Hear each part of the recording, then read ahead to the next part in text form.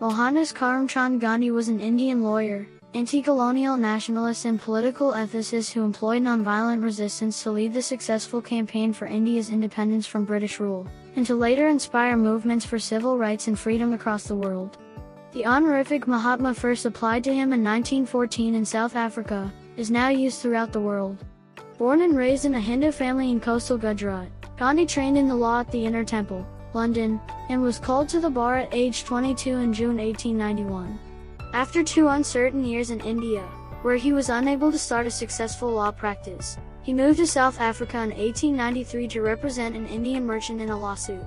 He went on to live in South Africa for 21 years.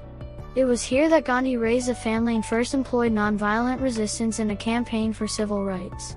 In 1915, age 45, he returned to India and soon set about organizing peasants, farmers, and urban laborers to protest against excessive land tax and discrimination.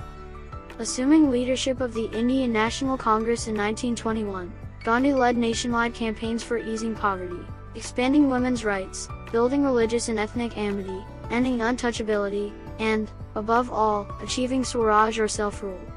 Gandhi adopted the short dhoti woven with hand-spun yarn as a mark of identification with India's rural poor. He began to live in a self-sufficient residential community, to eat simple food, and undertake long fasts as a means of both introspection and political protest. Bringing anti-colonial nationalism to the common Indians, Gandhi led them in challenging the British imposed salt tax with the 400 kilometers Dandi Salt March in 1930 and in calling for the British to quit India in 1942. He was imprisoned many times and for many years in both South Africa and India.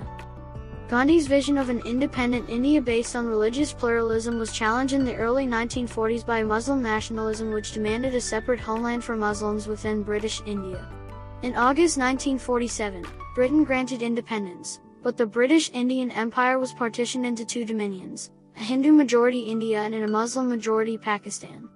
As many displaced Hindus, Muslims, and Sikhs made their way to their new lands, religious violence broke out, especially in the Punjab and Bengal. Abstaining from the official celebration of independence, Gandhi visited the affected areas, attempting to alleviate distress.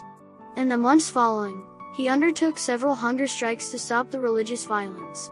The last of these, begun in Delhi on January 12, 1948 when he was 78 also had the indirect goal of pressuring India to pay out some cash assets owed to Pakistan.